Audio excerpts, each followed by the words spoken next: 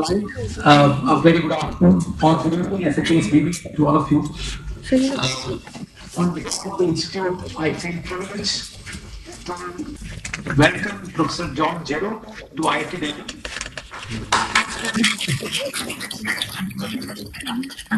Incidentally, this is his first ever visit to the Institute. He has visited Delhi and India on, on multiple occasions before. Right.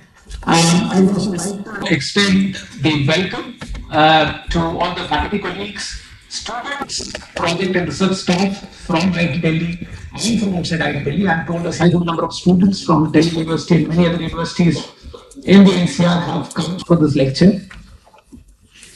I have known Professor Jim for close to a decade and a half. And I've been fortunate enough on multiple occasions to speak on a variety of topics. And so the show that is about to follow, I'm not sure that will do justice to his expertise. Nevertheless, here is a short introduction of Professor Gero. Professor Gero is a research professor in computer science and architecture at the University of North Carolina at Charlotte. He is a former professor of design science and director of the Key Center of Design Computing and Cognition at the University of Sydney. He has been a visiting professor of design and computation, architecture, mechanical engineering, civil engineering, artificial intelligence, cognitive psychology, computer science, and computation, computational social science at the MIT, Columbia University, UC Berkeley, UC at Los Angeles, Carnegie University, INSA in Bonn, University of Strasbourg, EPFL, University of Provence, and the George Mason University. He has been an author or editor of close to around 60 books and has published around 800 research papers. And to his credit, he has over 30,000 citations. I can go on on, but I'll stop and the Johnson.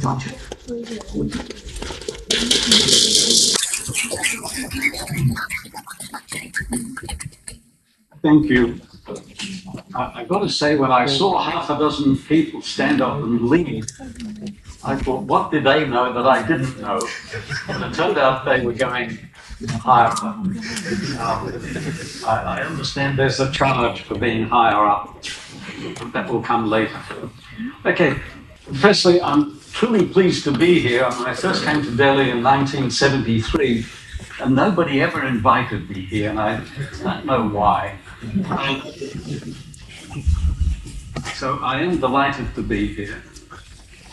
What I want to do over the next 45 minutes or so is to introduce you to some things that perhaps as designers and some of you as design researchers, you don't come across too often.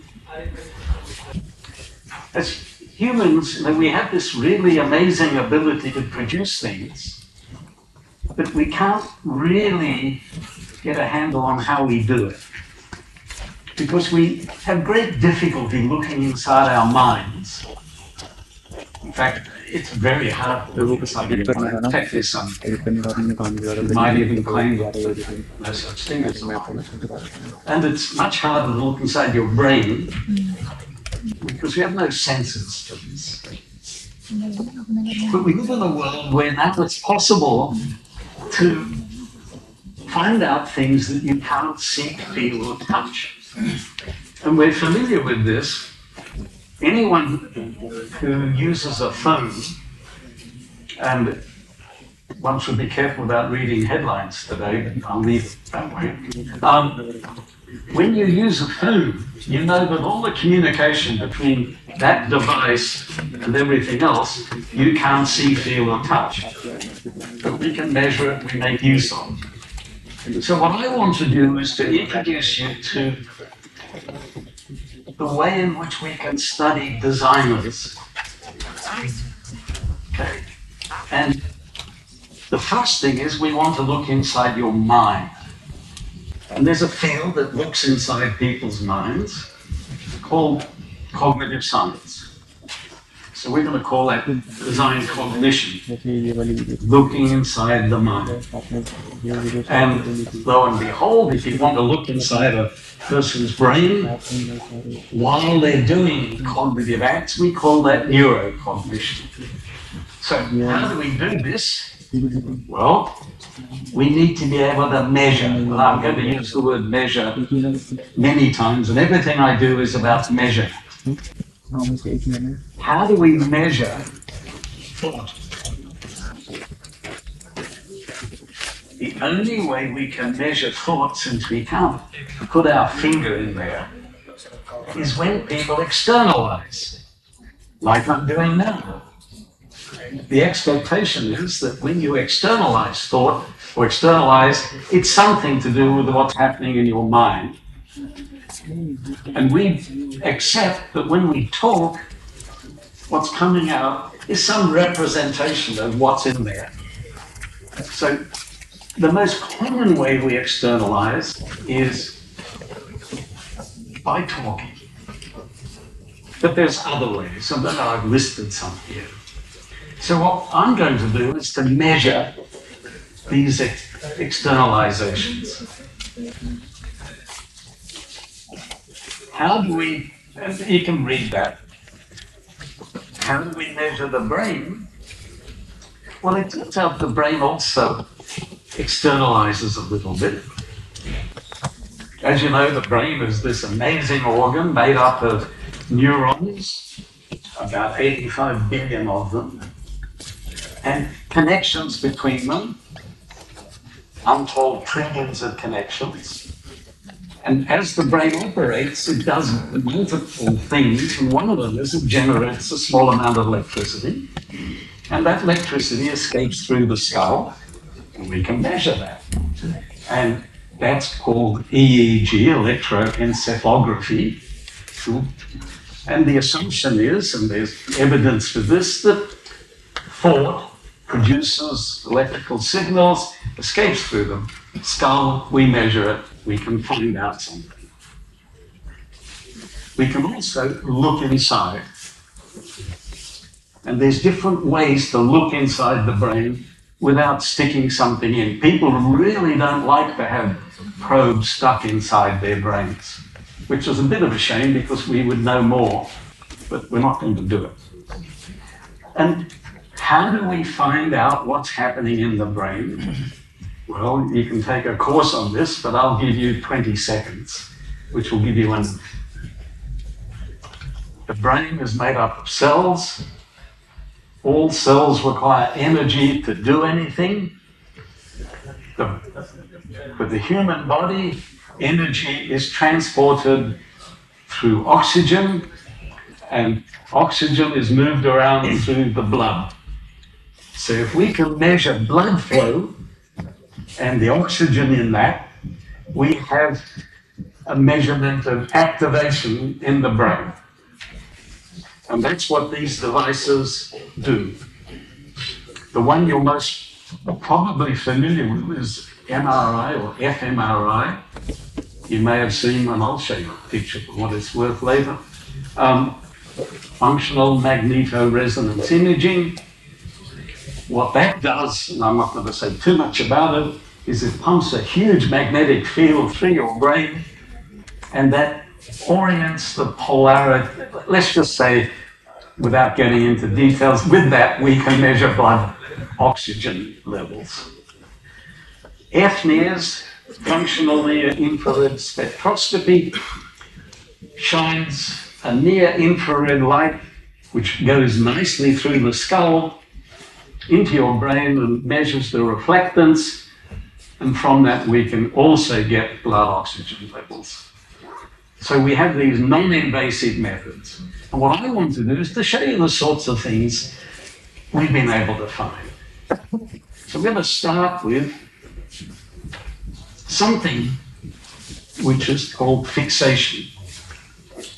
Why? Fixation is when you get stuck inappropriately. Why is this interesting to designers? Because designers are very precedent oriented. That's the way we teach design. It's not, by the way, that innovation is taught. Innovation is taught the opposite way. That design is taught through precedent. And we give you pictures of things. And it turns out that as we show you these, you get stuck on them. Sometimes appropriately and sometimes inappropriately. So here, here's an experiment. We say we want you to design a device. It doesn't really matter what it is. In this case, it's a device that takes someone with low mobility in and out of a bath. One group, we just say that's what we want. Give you text. And then we look at what you produce. The second group, we give you the same text and then show you a picture and say, this is the level of detail we want. The picture happens to be this one. And what's interesting here is that some of these are reasonable ideas, some of them are bad ideas. You, that handle there can't be moved because there's no opposing force, and some of them are irrelevant. And it turns out that affects what you do. How many people, are there any mechanical engineers in the audience?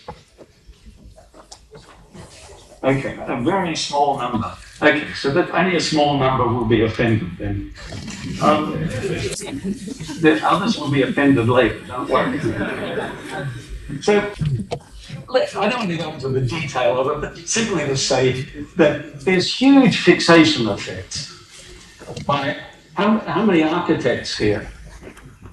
A larger number, good, because you're like mechanical engineers. By the way, I know you don't like to hear that, but nor do the mechanical engineers. Um, industrial designers or product designers are really, really, really different. Product designers, and you know, don't get too engrossed with the numbers here, have almost the opposite effect. When they see something, they're not going to do that. So th- this is an amazing thing to find. Because if you take people off the street, they all look like this. So now we have some inkling that something's happening in people's minds that are really different depending on their education.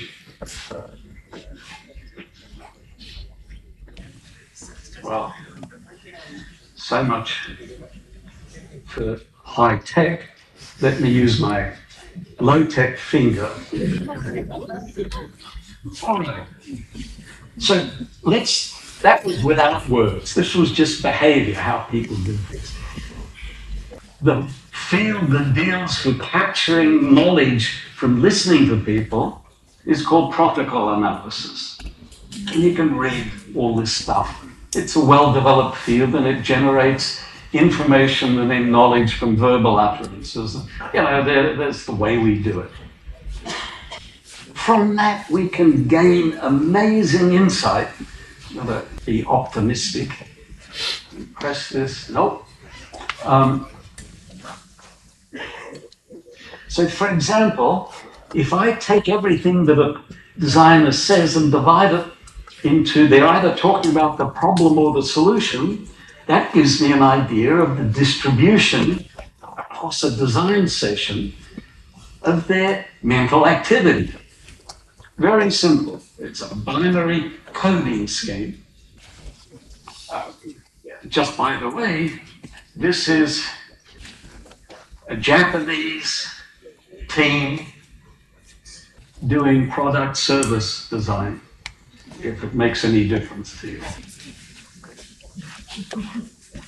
You can produce a much richer coding scheme if you use a design ontology. So what is an ontology? If you look up ontology, I mean, obviously it's a Greek word, it's got ology, which is the study of. It's the study of onts, whatever onts are. Um, but if you look up ontology, you won't get what I want it to mean. This meaning was invented in the 80s. in computer science. An ontology is the framework for knowledge in a field. It's the framework for knowledge. And in design, I'm suggesting there's a very clean ontology. And it's got three ontological categories function or purpose. What is the purpose of something? Right?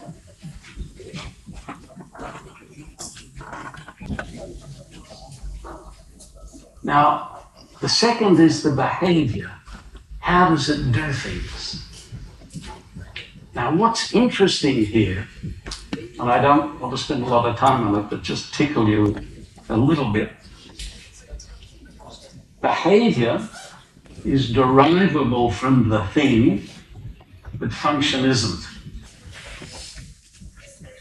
The purpose of something is an attribution, and the behavior is a derivation, and the thing is described by its structure.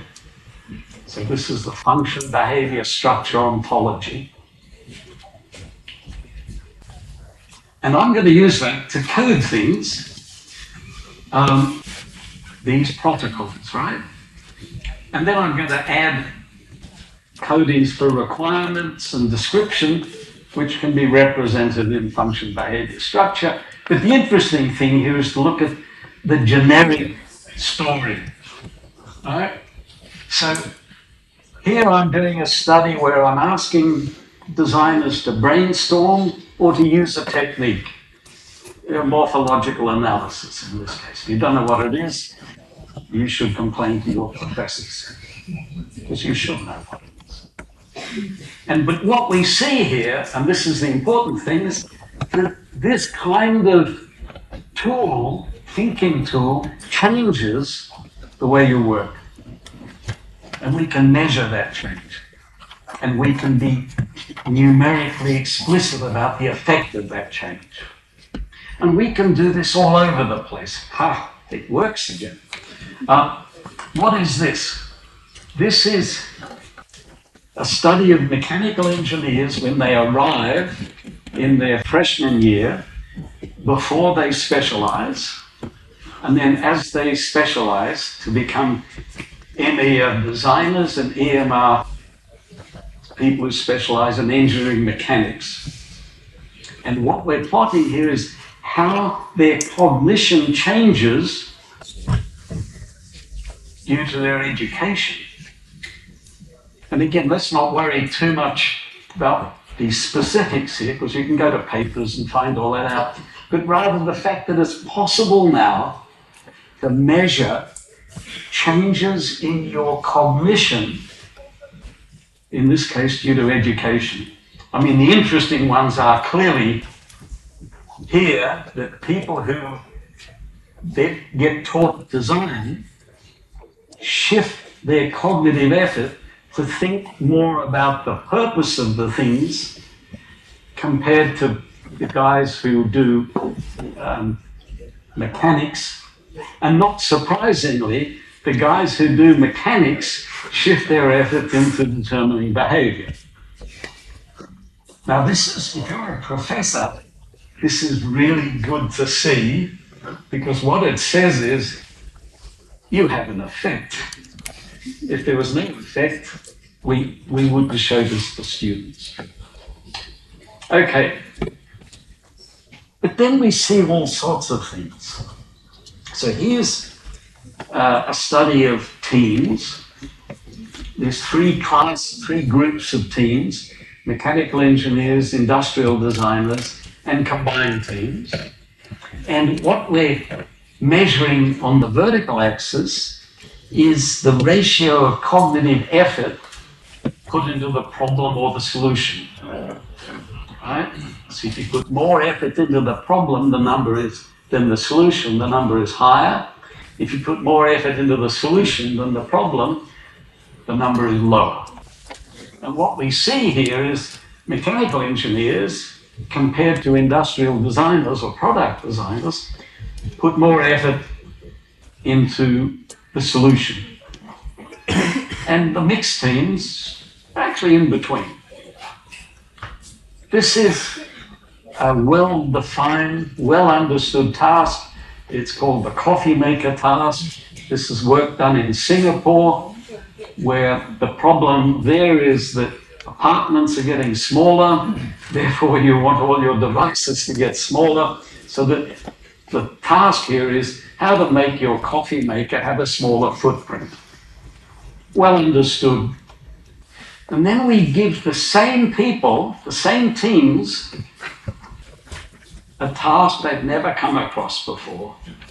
And look at what happens. Mechanical engineers don't change very much as to where they put their design effort, which is measured through this cognitive process. Industrial design has changed dramatically. And if you correlate this with the outcomes the designs produce, what do you think you get? Absolutely. The industrial designers' designs are all rated more highly on almost any scale you want, except utility.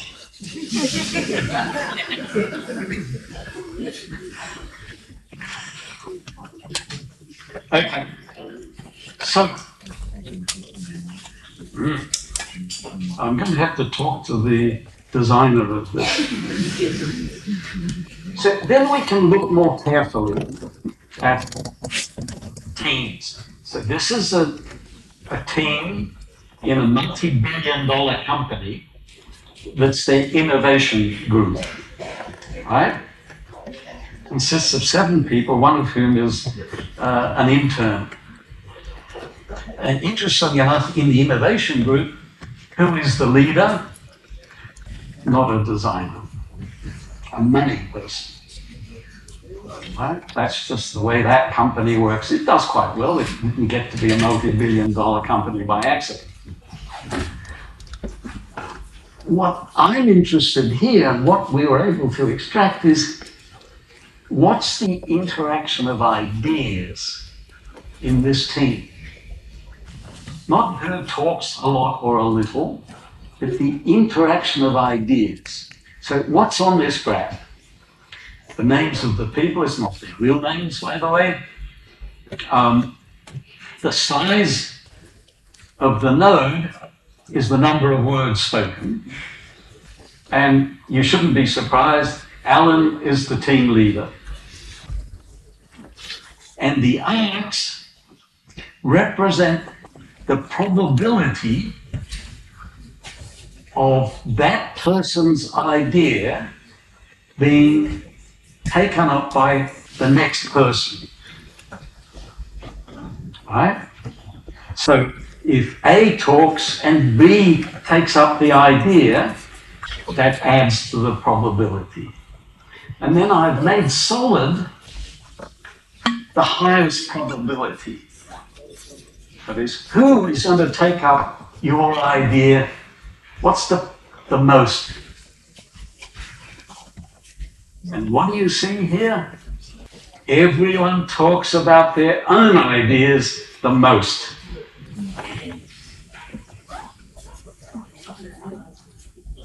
Right? This is not some fake experiment. This is us. We just put four security cameras in the ceiling and walked away and came back. Right? There's a lot to be learned by studying people's minds.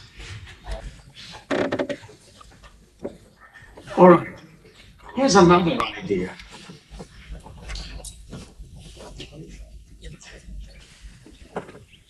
When we talk as we design, I can distinguish, and you can too, and I have a computer that does it. Anyway, um, between the first time you bring an idea in to the discussion, and then times you use it again. Right? And I gave it a very sophisticated name, first occurrence. Right? Why not? Ether. So here's, and we're using this is a project I have in Israel, which I think is still running, um, as it was two days ago. Um, where we're looking at design crits. This happens to be architecture. And what we're interested in is to see whether there's a change in student engagement as we move from desktop to VR.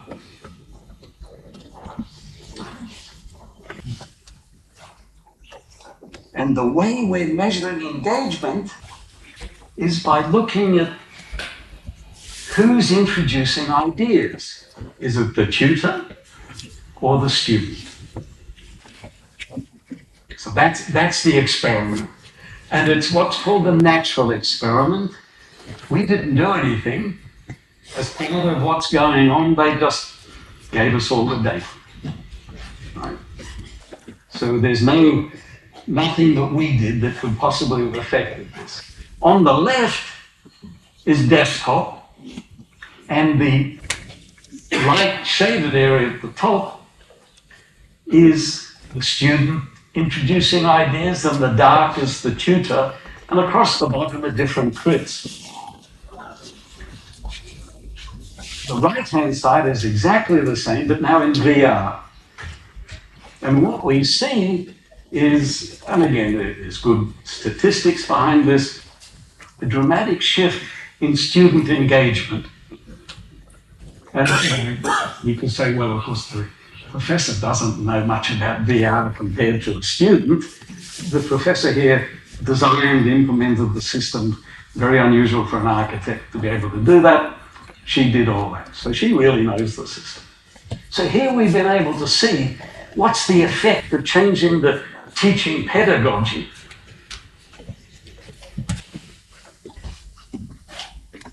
Okay, here's uh, a somewhat larger scale. This is 54 professional engineers. You have to listen to this. Divided into 19 groups of three. That sounds like the beginning of some weird story, but it's not. Um, they're all asked to do the same thing, is to design a, a device of a kind no one has had experience with. So that's what they're doing. Right? So we have 54 designers, 19 teams. And one of the things we're interested in is if we have, and they're divided primarily into mechanical engineers and electronics engineers, is there a lot of collaboration? Because in teams, we always assume there's a lot of collaboration. Although, if you remember our friend, the seven designers, the collaboration isn't as much as you might think. So, this is not just one team, but a lot of teams. And what, well, not going to get much, there we are. So, what is this? This is a real mess. No, it's not. This is every single idea that was mentioned by these 54 designers. And they're turned into what is called a force graph. I'm not going to ask you to put your hands up if you know what a force graph is, because I'll embarrass the professors. Um, what a force graph is, is a graph that takes account of how often two ideas are mentioned near each other. The more often they are, the more they are towards the middle. The less often they're connected to other ideas, the more they get pushed out. The ones round the edge may have only been mentioned once. Nobody else took them up. The ones in the middle are those where people um, connect to it. The size of the text, which is a little hard to see, is how often those teams mention that idea. So the word people is mentioned by every team. But what I'm interested in is what's the interaction between mechanical engineers and electrical engineers? And the mechanical engineers are pink and the electrical engineers are blue. And you can see that they don't interact that much. So a lot of our ideas about collaboration, when we examine them, perhaps are not as clean, because now we have strong evidence that something else is happening, perhaps. Okay, we can take this notion of first occurrence, and here's a team of three designers different, one color for each designer.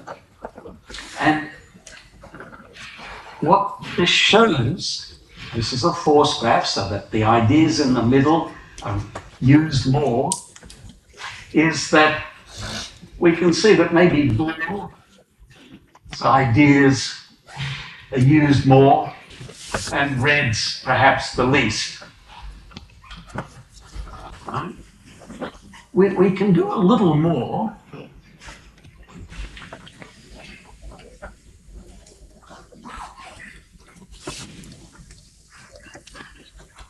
So if we now take that and just turn the third dimension, which is time, we can see that in fact, Blue's ideas started earlier. They contributed more and Red's ideas were much later. So this gives us a characterization of a kind we never had before. What's happening to our ideas across time?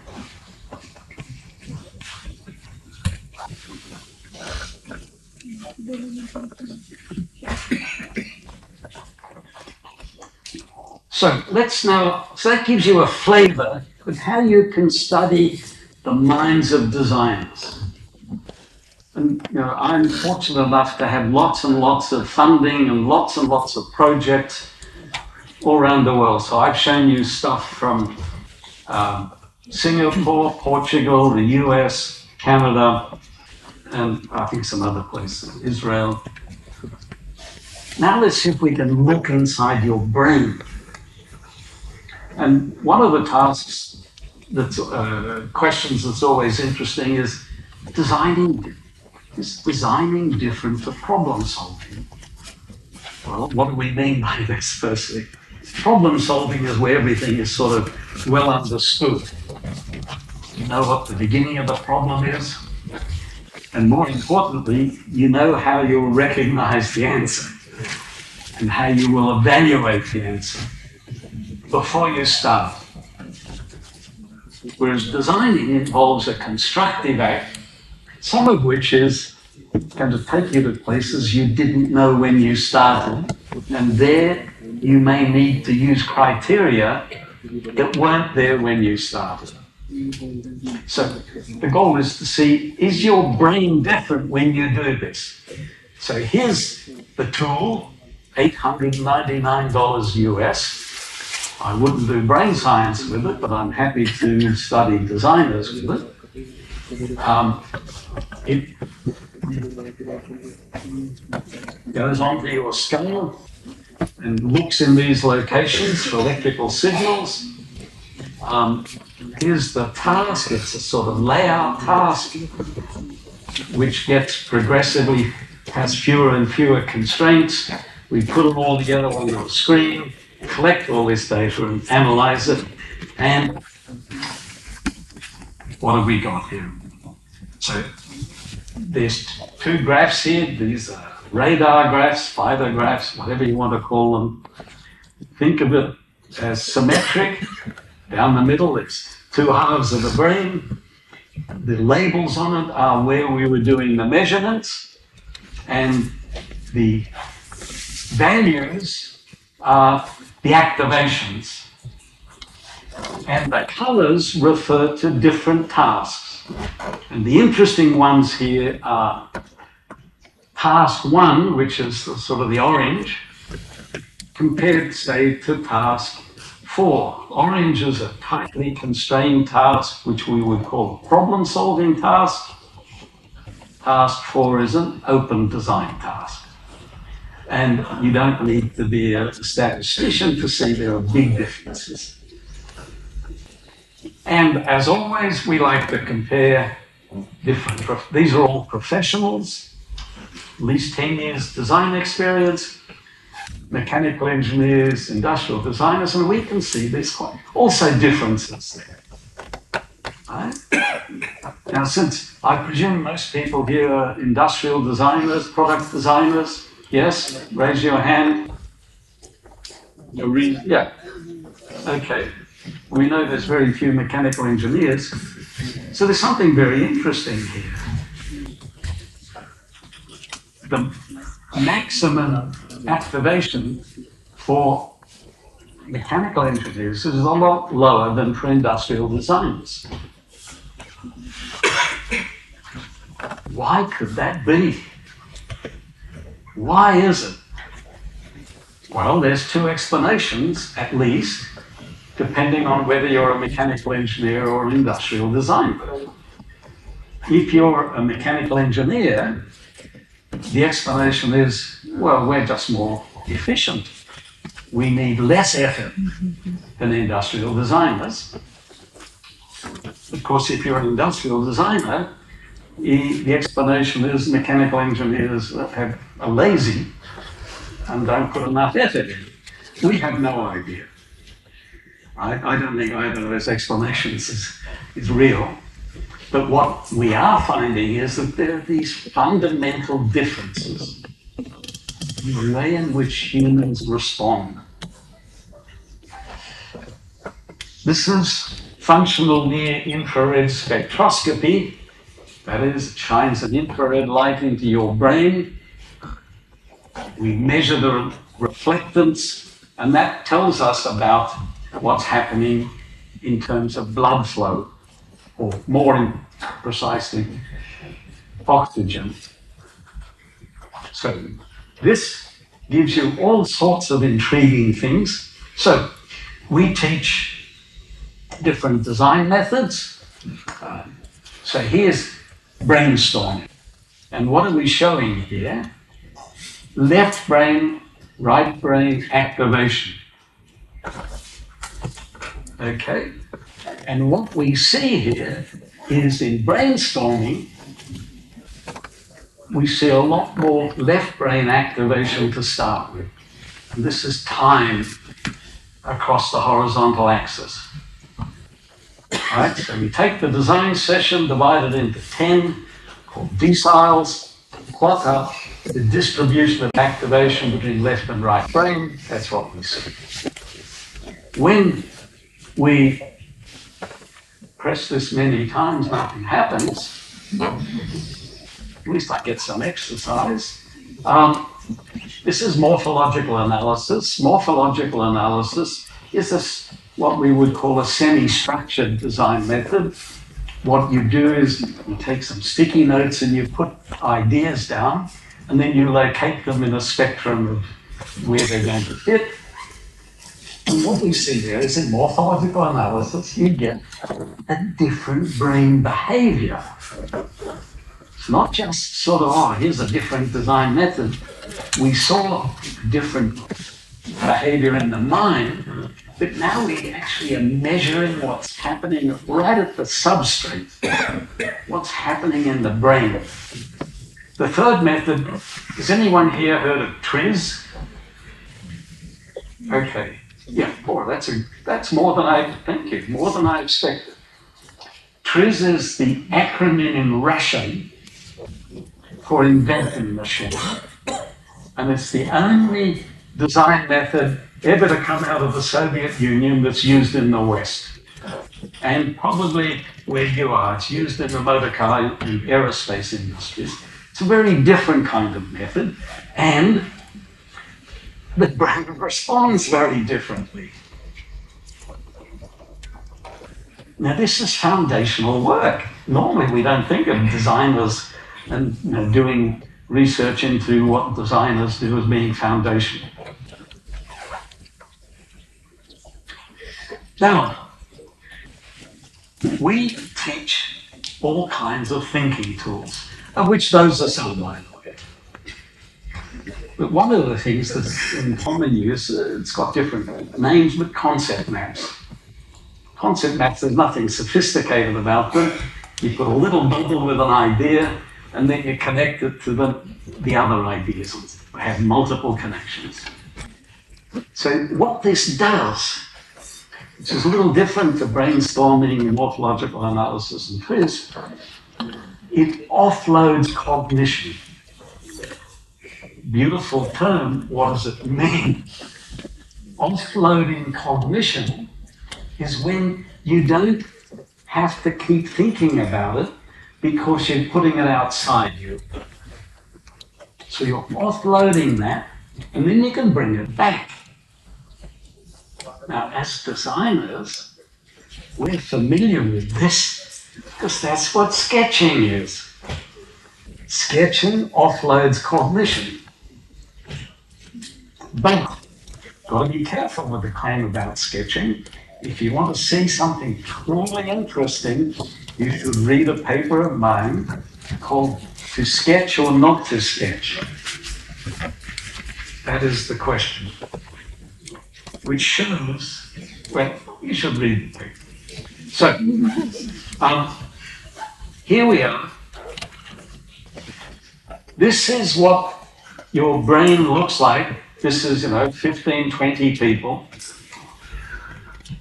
If you're just brainstorming, this is called a heat map.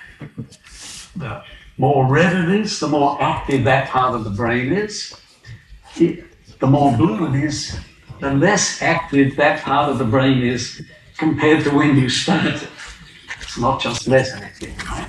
And orange, there's no blue in this. The orange is sort of If you use concept map, of which an example is on the right, it changes the way you work. It shifts completely which regions of the brain are used.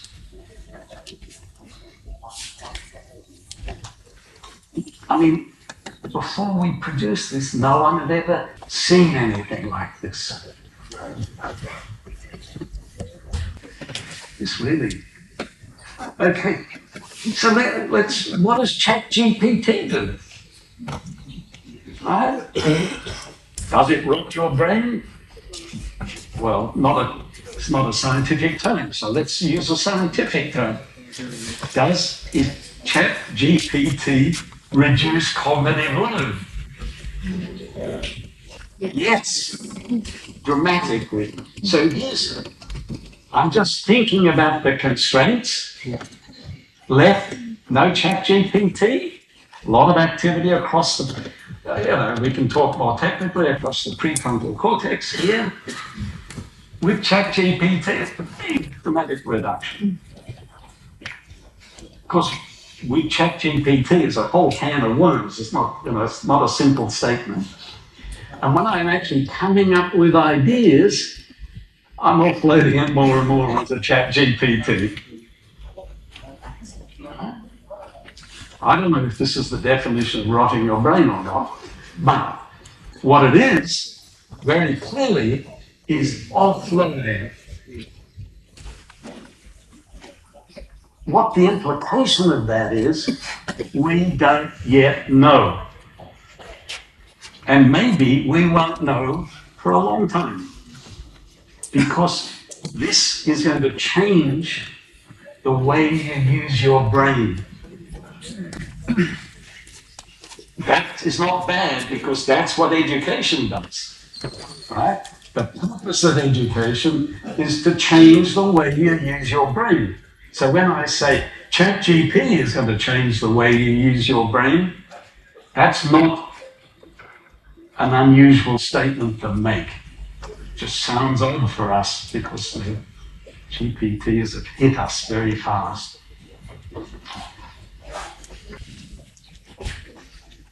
So designing is rich, very rich.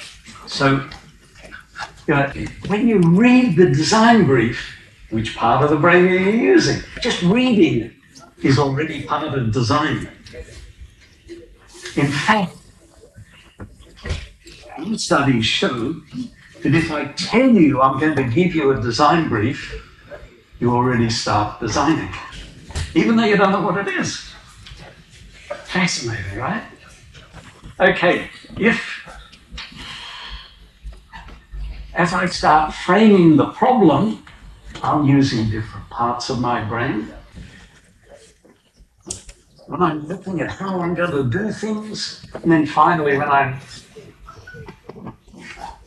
coming up with ideas, must be very hard because this is the last one in this.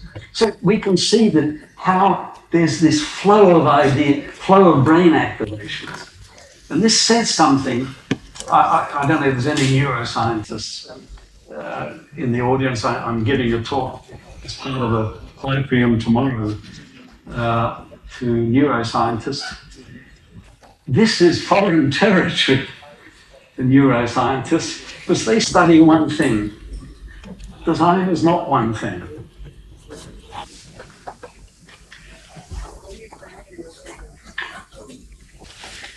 Okay. This is whole brain scanning, lots of new stuff here. We had to invent new ways of doing things. So we're doing brain scans while people are talking and sketching. Right? And you remember our uh, function behavior structure? Well, it turns out function behavior structure, which by the way um, was developed 35 years ago, has a, it seems to have a neurophysiological basis.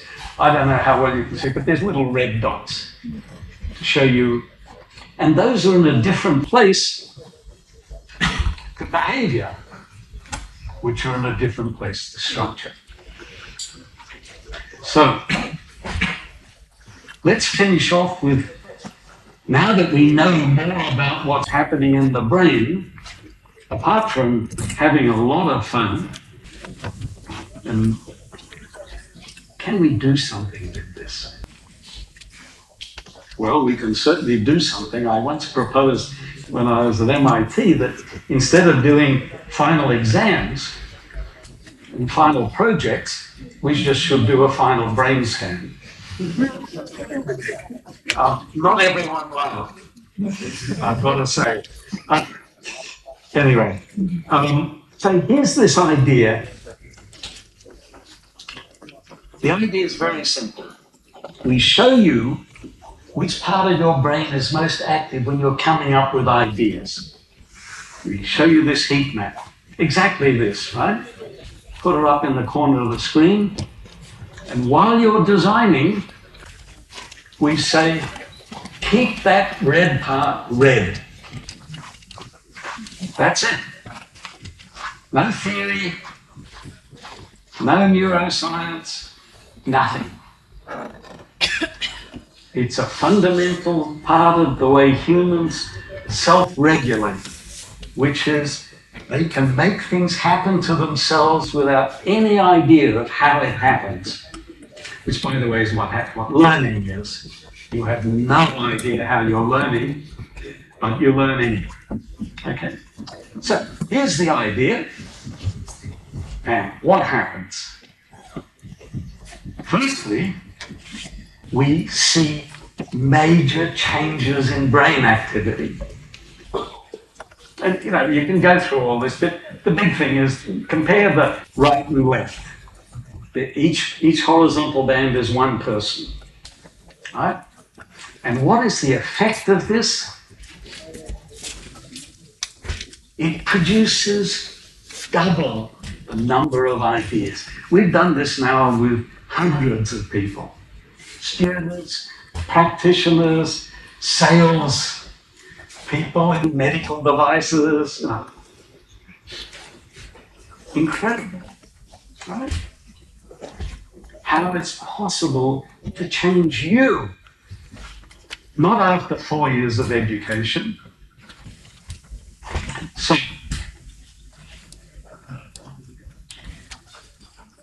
I want to finish off with this is part of a much bigger endeavor when you're doing research into design thinking. Right?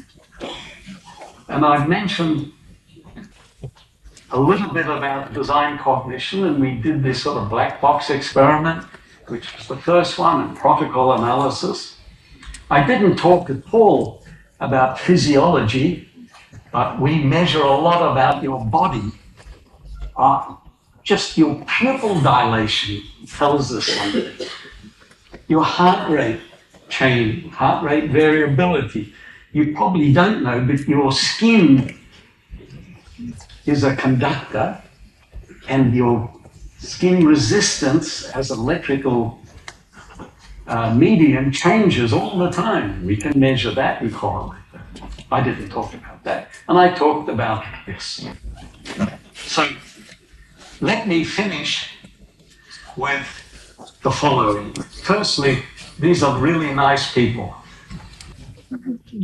Uh, to give you some, you have seen the results of many, many millions of dollars of research that has been funded. But what this shows is that there's a whole world here. And I haven't even talked about something which we will hit us and is starting to hit us more, which is brain computer interaction. The cost of some of these measurements is low. The device is under a thousand dollars US, not fMRI, which is under two million dollars just. But the others, relatively low. As we know more, so we can begin to think about how we might use that. We don't know yet how we might use this knowledge. And there's a lot more knowledge to be generated. But we're at a point now where this sort of threshold, where there's this opportunity that's going to flood us. And what I want you to go away from this talk is, hmm, there may be something here. If you take more than that, even better. And if you want to see this stuff in writing, um, johngero.com. Or if you are too lazy to type that in. So let me stop there.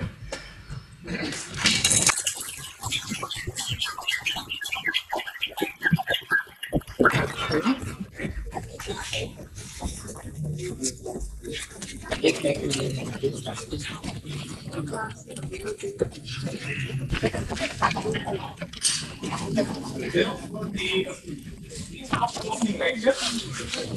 there is some time to three. Your hand up and try and get a microphone.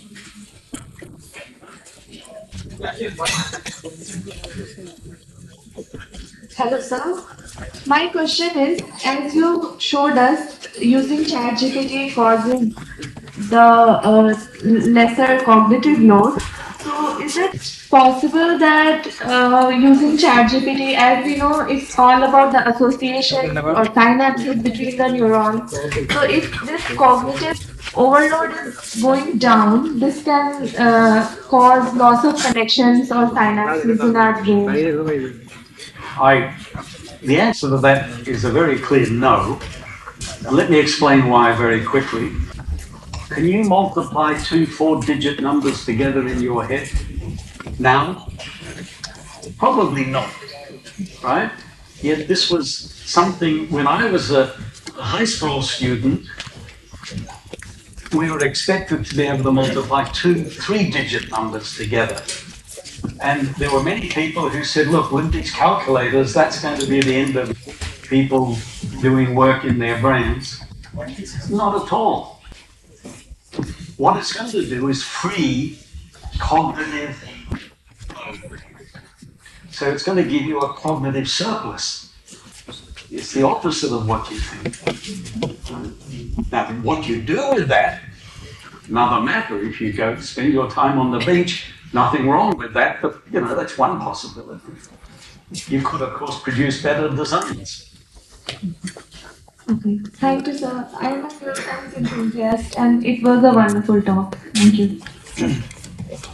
Uh, We are now using fMRI and fMRS uh, the healing is happening and are the minds of the designers and other groups of people. Uh, suppose uh, are subcortical components, uh, they different for the designers and are and, visual and hand the. So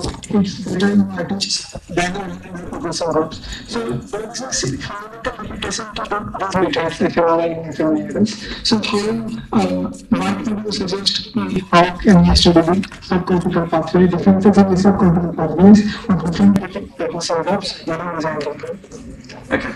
Um, this raises a different kind of question, I think, which is that if you look at the brain of a violinist, you will find that her spatial reasoning and the size of that in the brain is much larger than most people's.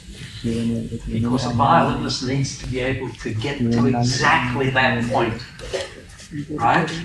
Now, the question is, did they start with a larger region that, that is a higher potential, or is that produced as a result of exercise? The same applies here. We don't know whether people who are good at something, I, I have a lot of children. I don't know how big I I have seven children and 15 grandchildren. Right, so I have an experimental lab. I can tell you you know, by the six months, you, you will really see things in terms of the way individual individualization forms. And by the time you know, a child is three, you can see whether they're good at sketching. It doesn't mean that they'll become an artist. So there's no answer to that question because we don't know enough. What I know is that if we are able to find out more and more, we can do something which I haven't talked about at all, and it's not my field, which is to go back and see if there's a genetic basis. Because now we know enough, we have the capability to actually look at individuals' genome and see whether, in fact, there is isolatable some gene structure which correlates with that. Right? I've actually built computer models of that because we've applied it to designs. It's called genetic engineering. And if you look down my publications, you will find how that's done. But you know, that's a long way off to do it in, with humans. Yes. The people with microphones have run away. Well, anyone who's got a microphone is in charge. Yes. So I would just like to probe you a little bit more on how do you design experiments which gave us these graphs. You went over them briefly, but I was really interested in how would you design such social experiments and what is the thinking behind uh, like how do you know what like if you know what you want to get from the experiment from, from the beginning of the experiment or you sort of evolve to find out what you actually get from the experiment? How do you design these experiments? A really good question, and you will not find enough of this in the literature. Right? It's very, firstly, it's very hard to design, unless we use the word design, to design experiments involving humans. Why? Because humans are ornery. I don't know if you know the word ornery. Humans are not completely predictable.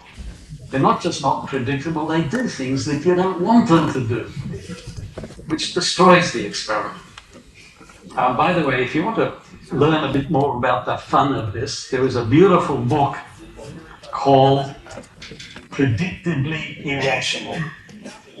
If you haven't read it, it's really, it's a great read. It tells you a lot about yourself there's another great book, by the way, called Thinking Fast and Slow. Another easy read. Um, the end gets a bit boring. Um, so don't tell. Uh, So I can't answer your question in less than many hours, right? Um, but there is a, a very nice book called Designing Neuroscience Experiments by Mary Haggerty, I think, Hammington. But the title is about right. Look it up. I don't need to use Amazon. That's my source for library information. Um, it talks about fMRI, but it starts with, and you can forget about the fMRI part. It starts with how do you find a research question?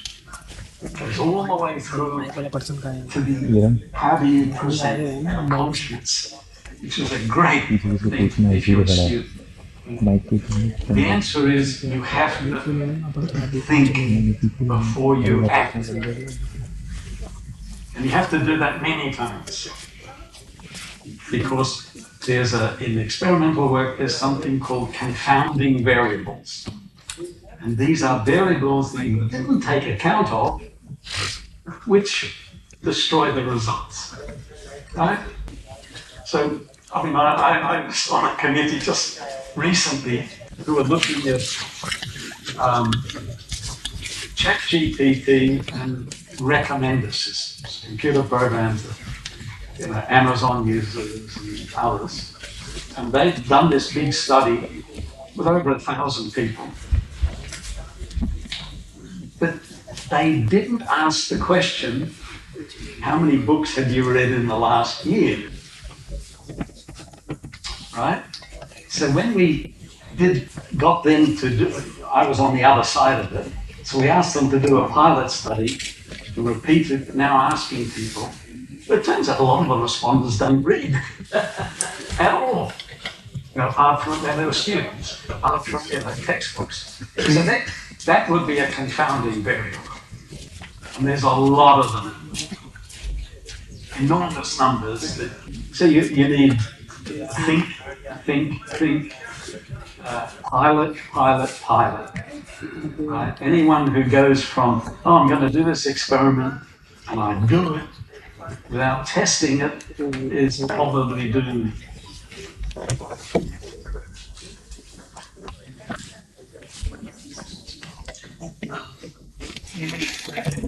But, uh, so when you were talking about the cognitive load, so does this cognitive load also vary among how the person, how much the person is seasoned or experienced in a particular field? Not in the way you might expect. Um, there is a paper published in 1956 or 1957, which was the most, one of the most important papers in cognitive science, published about the time cognitive science was invented, published by George Miller. And it's got a, the best title you could ever imagine for a scientific paper. It's called The Magic Number 7 Plus or Minus 2. What a great title for a paper. And what he showed was that human short term memory could only deal with seven plus or minus two independent chunks of thought. Uh, you've got to be careful, you know, chunk is a technical word and so on. Uh, our experience is that number has dropped over in the last 70 years down to about certainly five plus or minus two. Um, it, you know, maybe what people said about television and computers is correct, or maybe that's just human evolution. So, having said that, professionals, and I only know about designers, I can't tell you about other people. Professional designers never go above seven chunks of activity. Often they're down at the three to five. Students are up around 17 or 30. They're swamped cognitively. Their productivity is very low compared to a professional. But, and there's a really big but here, students produce ideas that are ranked or rated or classified as more creative than professionals. Now there's another, one, but they don't know that. Right? Professionals are really good at assessing whether where they're going is going to lead to somewhere interesting, and students have zero idea. So the answer is your question can't be directly answered because it, it should be framed differently, but it provokes this answer. Yeah, hi John. So uh, nowadays there is another term which is metacognition. So now when you ask these uh, uh, experiment subjects that keep uh, your thinking in that red zone. So uh, are you? So is it a type of metacognition, and then uh, are you working on metacognition of the designers, and uh, does it actually uh, plays an important role now in computer Um, the answer to one part of it is I don't think that's metacognition at all, because it's not really cognition. It's some behavioral response. Okay? Because they don't know what they're doing. They just no idea that uh, they're making it. The answer is metacognition is profoundly important. Um, sometimes, you know, metacognition appears in other ways, like strategy versus tactics. Strategy. Um, we have done work recently on metacognition, but part of metacognition that I'm particularly interested in is an area in design which now goes under the name of framing. How you decide to look at something affects what it is for you. And this is part of another area of cognition called situated cognition. Now, situated cognition says that cognition isn't just here, it's here in the interactions between what's in your mind, your body, and the external world. So, and let me give you an example how the meaning of things isn't in the thing. So if I pointed to somebody, and I won't because I'm going to ask the rude question, um, get undressed. Firstly, that in this environment, I would hope is profoundly disturbing and doesn't fit. Right? But if, if I'm sitting behind my desk and you come in and you say, Look, doctor, I have this rash all over me, and I say, Get undressed, that's very reasonable. So it can't be the words get undressed, it's got to be the situation you're in. And in designing, there's a difference between situation and framing, but they're tightly connected. The way you think of something. So if you decide, for example, to include sustainability, that changes things. And if you don't even think about it, it's not there. If you decide um, that you're going to work harder than you're paid for for this client because you really want to impress them because you might get more work, that changes what you do. So the way you frame things is actually dominant. And you're constantly framing and reframing. And that's what makes design interesting. That you can't at the beginning say where you'll end up. Now, because a lot of design you can say. You know, you're going to take this widget and you're going to tweak it a bit. And that's all, you know, that's a lot of design. Right? I mean, I've seen an extraordinary number of, as we all have, water bottles over the last 10 or 20 years, and they've become popular. Most of them look like this different ribbing, slightly different shape, unless you're Coca Cola, which has, maintains the 1930s shape. So you know, that's not that kind of design. But, you know, this kind of design that we want to aspire to is designs that change the world in some way. And we don't know where the end is. We know what sort of where it is, but not all of it. And there's really interesting things about that distinction between designing and problem solving. And what we're doing as we design is we reframe as we go along, depending on what we see as we do it. And we- we're beginning to catch that. We- we- There's a question down here.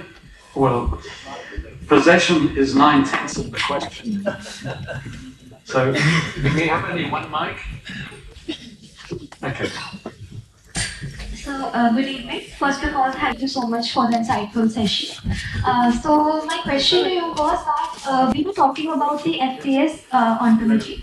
So, in uh, complex systems, there is often a need for uh, such as AI uh, or you know autonomous vehicles.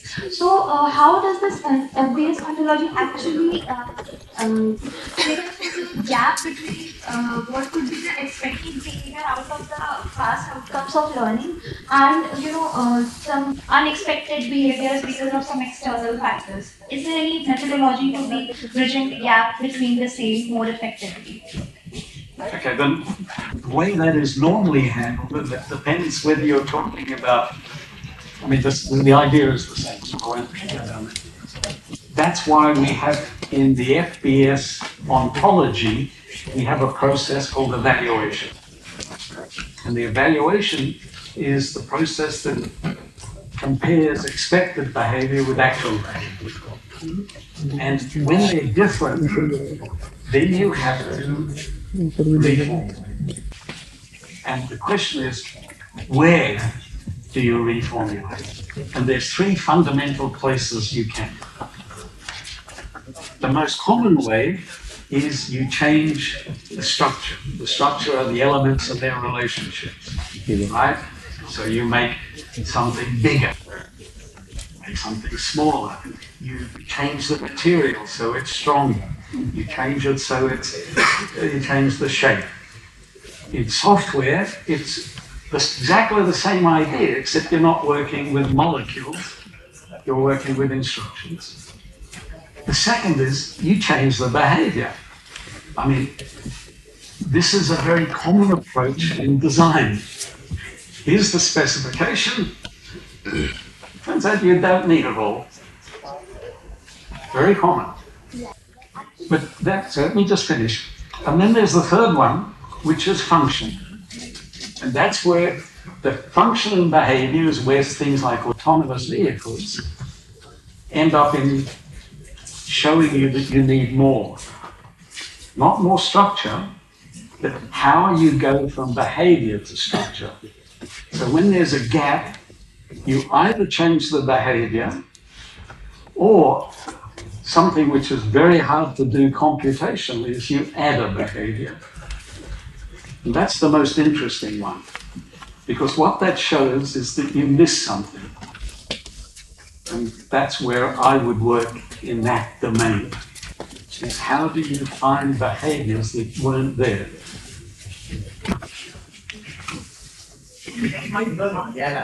Just stand up and yell. Uh, thank you for a wonderful talk.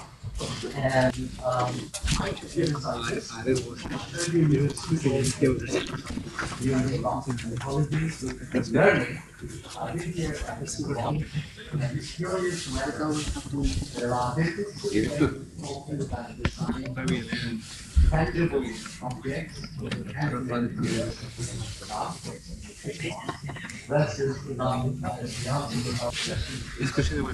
you're dealing with intangibles like software and instructions and things easy to to tweak around in, and their behavioral effects are very different from when you do small changes in tangible things.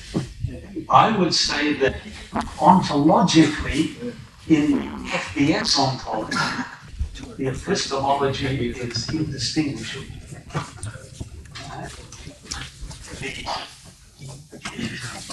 Exhibition of it, of course, will be different, but it is different all over the place. But from ontological view, they're exactly the same. And we've, uh, you know, I used to do a lot of things consulting. Um, and for me, I, I did consulting across the spectrum in the design world, where we designed frameworks for software and so on, in exactly the same way as we did for, we work with architects. That's, a sort of superficial answer. Sir, I have one question. Uh, since you have studied so much about brain and its activities and how how to uh, stabilize working in one in any of the environment, so have you able to change or develop uh, any habits habits like good or bad good or bad habits in your like research life? Like if your brain if you are focusing on red zone, then you should be doing this idea. Any sort of experiment you have done on yourself or any habit? Try to, let me just make sure I understood the question. Are you asking about me, or you're asking about the field? What do I do? I'm asking about you. That since you have studied so much about brain and its activities, how, activities, how does it work? So, have you able to inculcate any of the result in your life, in a broad sense or a normal sense? Interesting question. Yeah. I give a lot of lectures, and that's the first time I've heard a question I haven't come across before. Right? Um, the answer is, as you get older, and I am older than you, in case there's some doubt. As you get older, you get wiser. What does wiser mean? It means you can bring things together. You can see things that other people perhaps can't see. Um, and I think that's very hard to do research on. Right? Um, at, at the level that I do. Maybe at the brain, sort of neuroscience level, it may be possible. I mean, the problem is we can't isolate individual thought. Therefore, it's very hard to be able to answer some important questions and even some things which you think we have, actually you don't have. I don't know if you've ever seen uh, networks of brains, brain activity, not neural networks, computational view, but the actual ones uh, that come out of neuroscience. It'll come as a shock, perhaps, that those are not things that people measure in the brain. Those are fabrications. They're made, I'm using the word fabrication here. They're constructed, not measured. They're constructed when it says this region of the brain and this region of the brain co-activate. So therefore, we they must be connected in some way. So brain networks are not what you think at all. And I mention that because we're, we're not ready yet to answer your question. Right? That's not a satisfactory answer, but not everything in life gets satisfactory answers. Thank you so much. Uh, I'm sorry to have to close the session. I can tell you that any amount of time spent with Professor Gero will always be inadequate. Right? Uh, thank you so much for.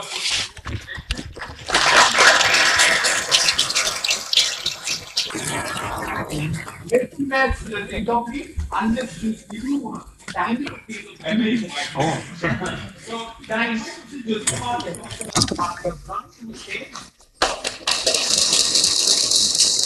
out and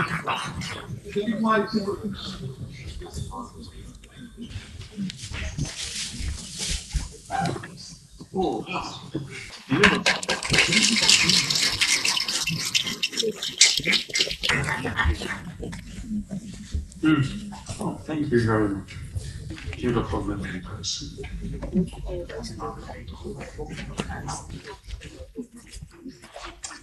Mr. Thanks to all of you for being here. And before we close the session, if you still have questions, please come through the podium. I'm easy to contact. I don't guarantee to answer. That's uh, all, I'm not bad. The, the rule is if you don't hear from me in 48 hours, sorry. You know, I may get, I probably get more email than any of you. But I, I am, if you have, uh, if you have any questions, uh, I'm serious, please send them to me. Could you also tell me, you know, how we came across each other? Right, because, you know, I, I give a lot of talks and so on, and I'm never, you know, if you tell me, you must remember me, I asked the second question. Well, you know, maybe not. But I will remember you if you say, you know, I was at that talk. Thank you so much.